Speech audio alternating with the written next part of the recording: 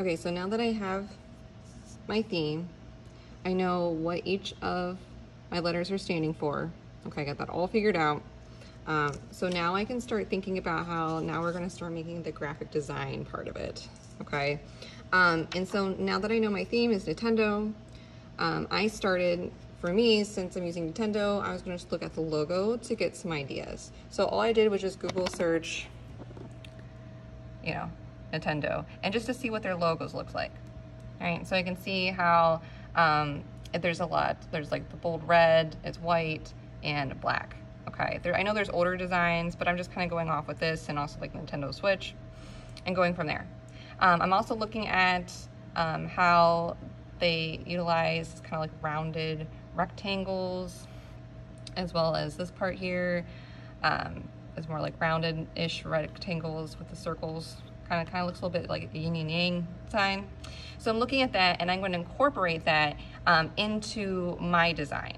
Okay, since I'm using this as my theme, this is going to how I'm going to unify um, my artwork and all my different pieces that I'm making too.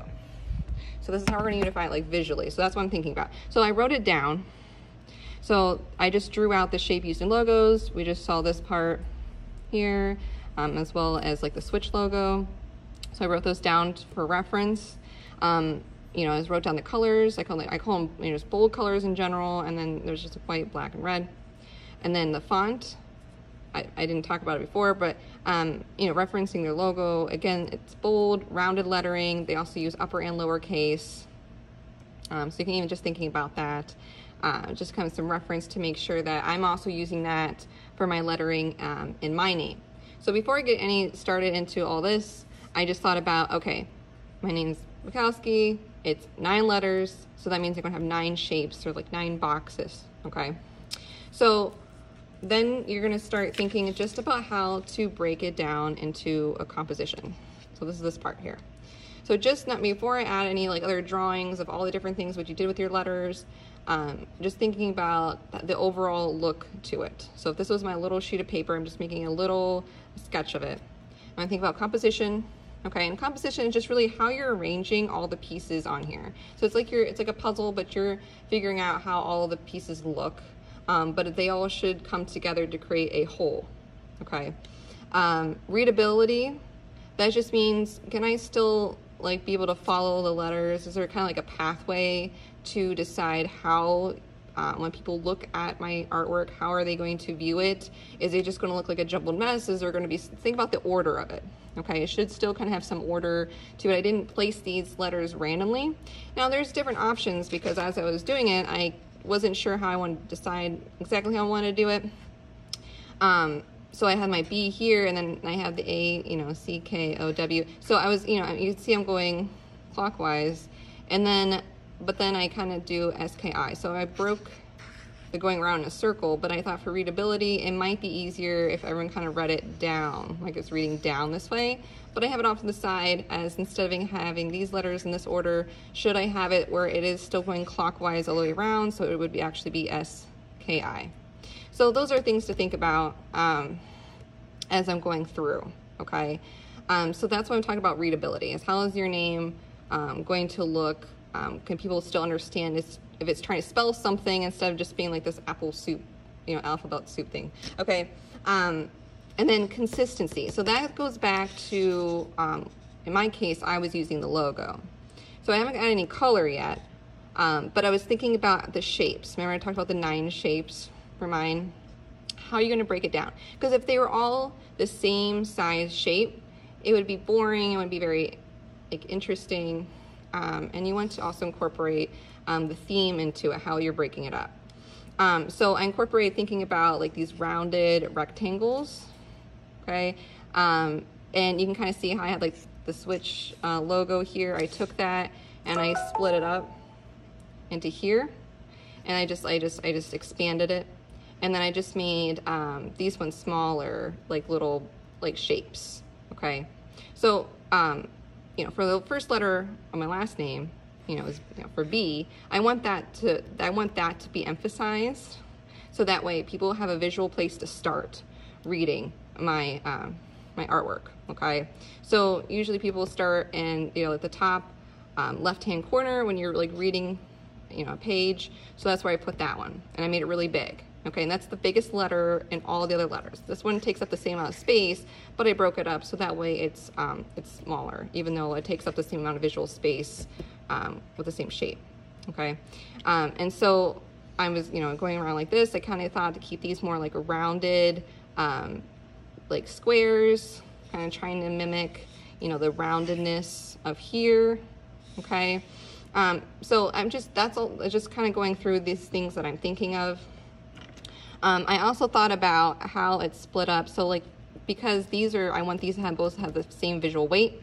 These are the exact same size. And this, if this is my little piece of paper here, I split it exactly down the middle. I wanted it to have, they wanted to share a little place right here instead of it, um, you know, their corners just matching like this. It kind of wanted to be a little offset. Um, and then for these ones, I wanted to stack them, just kind of make them look like kind of like, um, like those Mario like uh, platforms so kind of mimicking kind of like a game pieces. Okay, um, so that's why I kind of stacked them and I staggered them again just to make it a little more visually interesting. Uh, but even how I stacked them, I try to think about like this ends at the same point as this ends. Okay, same with this. Okay, I put this and it, I, I drew like a little line there just to show that I um, was matching that up. Okay, so like some things I would have to fix um, like there's not much space between here and the edge of the paper. I have more uh, space right here, so I would have to, for my final design, have to move this over a little bit more. Um, there's, it doesn't match up. Since I'm making a symmetrical design, um, I would just have to move that. Same with this one, it's a little too close right here to the edge of the paper and I have a little bit more room here. When I do it for my final, I would just have to make sure the same space here as I do for down here. Okay, so I came up with this part. I want to show you some older designs to see um, kind of like what it came, what I uh, came to. So what I had before, because I've done this for different projects for different reasons, so this is my main name. um, but before I was just thinking about just gridding out, um, just very generic grid um, based on like the number of spaces. Um, and then because I had an odd number, I decided to do the first letter of my first name. So I've, I've done different iterations, but it, it's not as visually interesting when they're all the same size shapes. And I didn't have a theme for it, so, you know, I've changed things as I've gone along here. So then this one I've done before, um, when I was still doing the Nintendo theme, as you can see, I still have B for Bowser.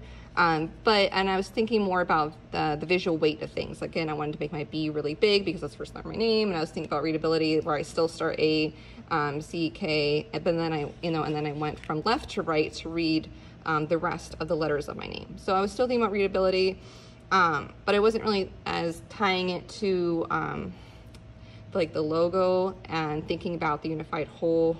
So I'm, so I have this one. It's better than my my first one, but um, I like where I came with the, this one is much more visually interesting and it's more unified, um, tying back to um, you know, the, uh, thinking about the logo and how I want to unify everything.